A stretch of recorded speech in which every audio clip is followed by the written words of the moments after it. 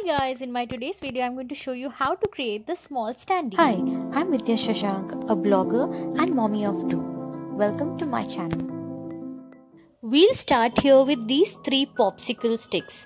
These sticks have to be arranged in this manner once you get the arrangement correctly, next I'm going to take a piece of popsicle stick cut into the size that fits right in the center of these three popsicle sticks and I'm going to fix it using Fevicol over here. Make sure that it is fixed really well.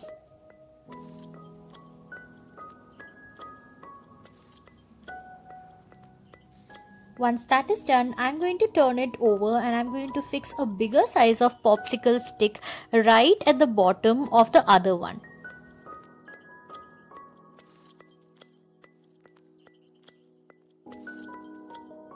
You have to fix it by leaving a little gap at the bottom. Now I'm going to take another popsicle stick of the same size and I'm going to fix it using Fevicol right at the bottom at 90 degree angle. This will serve as the base of our standee. You have to make sure that this one is fixed really well. It is not slanting and it's just standing straight. Now we'll keep this to dry up. Next, I am taking a white sheet and I'm going to write the message I want to. Since it is my child's birthday and the theme of the birthday is going to be stars, I'm going to write something that is related to stars. You can choose your own message over here and you can even put a small Polaroid picture which will look really very well on the standee.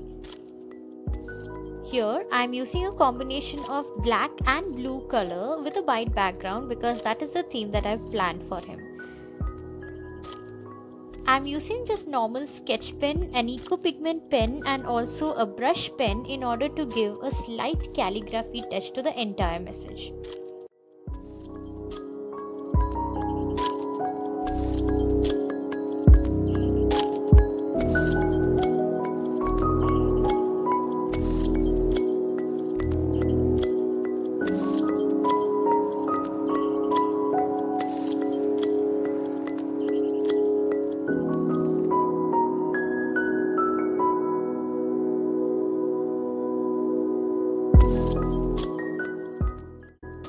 Now I am going to rub out all the pencil marks and dirt off the paper.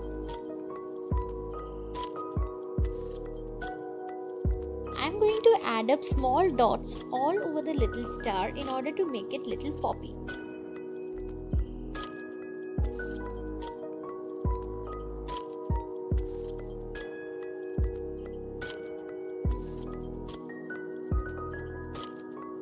Next, I'm going to make small showers of stars and for this I'm using sketch pen and after that by using Fevicol I'm going to stick small star embellishments over there.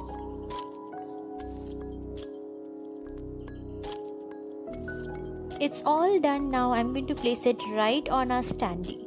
Also, at the back of the standee by using a Fevicol I've kept a small popsicle stick to make it stand. And that's it, it's done.